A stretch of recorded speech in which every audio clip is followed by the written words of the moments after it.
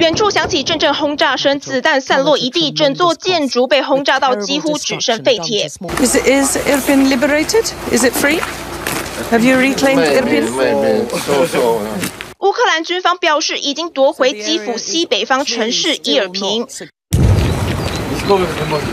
但是俄军仍持续炮击，感觉这场夺回战离成功还有些距离。The second man says the Russians haven't stuck to any agreement so far. The first time we set up a humanitarian corridor in Irpin, he tells us, they just attacked the civilian convoy. 伊尔平遭到俄军猛烈攻击，手无寸铁的民众只能等待人道救援人员协助撤离。Do you have any place to go? Anyone who can help you? She's asked. I don't have anyone, she tells. 在经历数星期躲避战争后，老太太终于可以好好喝一杯茶。回想起这些困境，她不禁哽咽。尽管她的状况很糟，但她仍心系不知去向的女儿。She tells us she's really worried she won't ever see her daughter and granddaughter again. 俄军猛轰下伊尔平半数市区已成废墟。На сьогоднішній день нема, але в той час, коли були дуже потужні військові дії, коли коли сутками йшов обстріл, людей просто мешканці хоронили в дворах на території парків. Я думаю, приблизно десь 200-300 людей, на жаль, загинуло. 也被俄军惨轰的哈尔科夫市长则呼吁当地企业逐步复工，重启当地经济发展。TVB 新闻郑报道。 发射车点火，飞弹升空。俄罗斯国防部最新公布多点发射伊斯坎德飞弹的画面，展现强大火力。五角大厦警告，俄军入侵乌克兰，准备卷土重来。By some Russian units away from Kiev uh, in the last day or so, yeah, we think so. Small numbers, but we believe that this is a repositioning, not a real withdrawal. 住在乌克兰首都基辅周围的部队不到两成撤离，实际上转向东部和以北的白俄罗斯，重新整顿和补给。That's just a propaganda cover uh, for everything that they've been doing uh, that's failed so far. So they're pulling out the units that have failed north of Kiev and uh, west of Kiev. They're going to have to reorganize them because they're basically destroyed by uh, Ukrainian offensive operations. 被围攻的马里乌波尔以及赫尔松南部战略港城等多地，过去二十四小时炮火猛烈升级，陆上攻势停滞不前，疯狂轰炸也凸显俄军低迷的士气。And was about an air siren going off in some parts of Ukraine, and at the same time, I think the majority of regions of Ukraine was covered in air sirens, meaning that there were air raids on the go. 原本遭到俄军占领基辅以北的郊区重镇，乌克兰军队重新夺回，建筑还冒着黑烟。地上还有被炸死的俄军士兵遗体残缺不全。Просто валяється м'ясо їхнього. Їх просто на бум послали, хіба так воюють? Дивіться, виходить. Потому что мы на своей земле. Мы, скажем так, защищаем свою землю. Это большое наше преимущество. 英国情报单位指出，俄罗斯入侵乌克兰一个多月，俄军士兵已经出现厌战的情绪，还传出自己人击落俄军飞机。TVBS 新闻综合报道。 孩子们精疲力尽吃着意大利面，终于能坐下来饱餐一顿，因为这趟旅程实在是有够惊险。So we walked right into the forest for two hours. A Ukrainian soldier then stopped us and told us that there were snipers everywhere. 带着一家大小穿越危险森林，好不容易才抵达匈牙利的中继站。他们冒险离开家园，要躲避俄军的攻击。How old is she? Five. And she asked if the tank would shoot at us. Yes, because uh, she uh, saw tank every every day. Uh, because they. She saw Russian tanks. Russian tanks. 根据乌克兰官方数据指出，至少有一百四十五名儿童在战火下丧命。眼看贫民区不断遭遇火炮攻击，越来越多人像这一家人一样，原本在战区等待停火，现在纷纷出逃。 We stayed a really long time after the war started, she says, about a month. But every day the sound of the bombing got closer and closer, and our children are small. Our building didn't have a basement, and there was no cover available. 害怕每天活在遭遇空袭的恐怖氛围下，乌克兰居民除了逃往匈牙利和周围邻国，光是抵达波兰的难民就有两百三十万人，占了整体离境乌克兰难民总数的一半以上。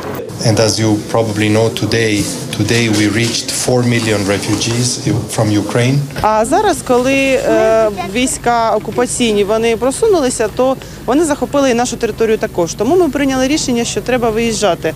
做了超过一个月的轰炸，许多乌克兰人不再相信俄罗斯撤军的承诺。然而，就算一家人安全逃到国外，被迫抛弃祖国，又在不熟悉的异地展开新生活，恐怕对难民来说又是新的挑战。TVB 新闻综合报道。 Do, do you remember what happened? Yeah, yeah. It, I remember the day very clearly. 躺在病床上接受 CNN 主播库珀独家专访，他是日前在乌克兰采访遭到枪击生还的美籍摄影记者胡安，亲口还原事发经过。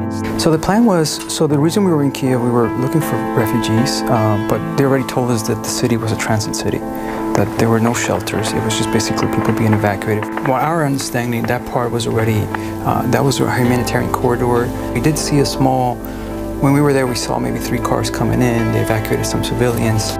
当时从基辅前往伊尔平的桥已经被炸断，防止俄军入侵。 国安和另一名纪录片导演瑞诺结伴同行，搭上当地人的车前往另一座桥。大约十五分钟后抵达检查哨。I was sitting back behind Brent, and I was looking out the window, and then I saw in the trenches two two military. One of them pull out the AK, and then I just shouted like, "We're, we're going to be, we're getting shot." So Could, could you tell whether they were Ukrainian or Russian? no, it was so fast. 胡安看到疑似俄军拿枪对准他们，第一时间吓得大叫，心里猜测对方应该不会开枪吧。没想到下一秒他就中弹了。 Just hearing hitting windows, hitting the kind of like tin, like metal, and um, and then that's when I I felt that I got shot. I yelled, I got shot. Could you tell where you had been shot? Yeah, because I felt it right there, and mm -hmm. I mm-hmm. just I just touched it, and I feel like the bleeding. And it entered through uh, through through my so through my buttocks uh -huh. on the on the left. Yeah. Uh-huh. But then I just started like tapping my finger, my toes, just to make sure if I could, you know, like lost feel. anything. Yeah. And I feel them, and I was like, oh, okay, I'm fine. 胡安没有被射中要害，但是前座的瑞诺没能躲过一劫。When I looked up and I saw Brent you know, exit. Now that I know it's an exit wound, but it was a wound here, and so it was bleeding. I tried to grab onto it and maybe stop the bleeding. Was he saying anything? I could see his mum, like he was trying to mumble things, but I couldn't make out what he was saying. Then I saw the driver get out and then wave at another civilian car. 胡安被司机送到基辅一间医院，尽管大腿中弹，意识还很清醒。 Please, what is your name? Juan. Mine? Juan. Where are you from? Uh, the U.S. And they kept shooting. It's two of us. My friend is Brent Renaud, and he's been shot and left behind. And how is he? I don't know. I don't know. 直到手术结束后，国安才得知同伴瑞诺已经身亡。回想生死一瞬间，他一度以为自己也死定了。There was a point that I thought, this is it, I'm gone. That I was laying down on the floor, and it was so much, like I could hear so much hitting that car that I thought, okay, this is it. I'm not going to survive this. I don't sleep for long periods of time, and I notice my dreams are very vivid. And, um, and it's always in that car. 身为战地记者死里逃生，胡安直到现在仍不断做噩梦。身体的伤好得快，但心理创伤恐怕需要很长时间才能复原。TVBS 新闻综合报道。 救援人员在瓦砾堆中搜救，乌东顿内刺客遭到轰炸，大楼顶部陷落，俄军攻势没有停止。美国总统拜登惊援乌克兰，再加码。 У цей же час відбувається накопичування російських військ для нових ударів на Донбасі з президентом Сполучених Штатів Америки Байденом. Дуже детально тривала годину. Звичайно, подякував Сполученим Штатам за новий пакет 乌克兰总统泽伦斯基和拜登通话长达一小时，除了感谢美国在军事和经济上伸援手，只是才说乌俄在伊斯坦堡和谈有重大进展，俄罗斯却否认。 э, скажем так, э, мы не можем констатировать чего-то сильно многообещающего, каких-то прорывов. Еще предстоит весьма и весьма длительная э, работа. 俄罗斯宣称会减少兵力，但不止轰炸北部大城切尔尼戈夫，乌克兰指控南部大城马里乌波尔人道救援组织红十字会也被炸，还好没有人员伤亡。俄军轰炸力道大幅升级，乌克兰人吞下眼泪埋葬死去的亲友。 Наш друг 16 марта ехал в машине. Прилетела пуля в горло. 马里乌波尔的居民遭到俄军数周围困，在断垣残壁下生活。乌克兰人说：“这里就是家，要死守家园。” TVBS 新闻综合报道。俄乌炮火密集，但是专家最担心的却是一场没有流血，但冲击更大的一场战争。Really, the threat levels and, and risk of conflict expansion are just uh, terrifyingly high. I think the second Cold War has already started. It's about as high, maybe not quite, as it was at the time of the Cuban Missile Crisis. 美俄关系降到冰点，专家认为新冷战已经开打。历史学家在这一次的冲突当中，仿佛看到当年的铁幕再度落下。 We're in it now, and Russia is very much trying to drop an iron curtain, a second iron curtain, and Ukraine is trying to prevent itself from coming down on the Russian side of the iron curtain. 冷战期间，东西德的分裂还历历在目。现在，普京俨然也想让同样的情节在乌克兰上演。 Ukraine, it looks as if it's acquiring part of that role now, in as much as it is the final state uh, between the easternmost border of NATO, of democracies, and Russia. I don't think this is a role it chose. Of course, Germany didn't choose that role in, in the Cold War either. 不只有乌克兰的分裂，让专家似曾相识。冷战当年扮演关键角色的美中俄，在这一次的冲突当中，仍然有剪不断、理还乱的三角关系。 It is still Russia and the United States, and there's a risk, of course, that this will expand to involve China, something that should be clear from that joint statement that Russia and China made on February 4th from the Olympics. 当年美俄虽然针锋相对，但俄罗斯和中国大陆当时因为领土争议，情势同样紧绷。俄罗斯在权衡之下，决定对美国态度软化，只不过今非昔比。 The U.S. is in the position that the Soviet Union was in the early 1970s, faced with two major adversaries. So logically, you might argue that it would make sense now for the United States to try and improve ties with China, to try and get China to maybe use some influence on Russia to cease what it's doing or at least distance itself from Russia. I don't think the Biden administration is willing to do that, having declared that China is a major adversary. 除了中国大陆的角色，专家认为这一次冷战当中，双方对峙的武器也跟以往大不相同。 For the moment, nuclear weapons are peripheral to this conflict, apart from the single vague threat that Putin made in ordering an alert. But even the alert was more rhetorical than it was actual. We did not see significant redeployments of Russian forces in connection with the alert, which we did see when alerts were carried out during the Cold War. 专家点出，这一次的美俄冷战主要战场其实就在经济市场。 It's hard to imagine a shooting war breaking out between Russia and the U.S. That would be catastrophic. I think that uh, these sanctions will be put on, and then Russia will seek out other other world partners, maybe like China and maybe some of the OPEC countries. And I think a lot of the battles then will be on the economic front. 也因此，这场冷战对全球的经济市场都会造成冲击。 The market's been pretty volatile. You know, for the most part, it's been down since the crisis developed, and, and you'd expect that. The market doesn't like uncertainty. And this casts a lot of uncertainty then in terms of the world economy. 市场更密切观察俄乌战火的动向，战争结果也将牵动经济上的冲击。 If we were to see Kiev fall, Ukraine fall, then we'd see equity markets take very big hits. If tactical nukes were to be deployed, the downside is immeasurable.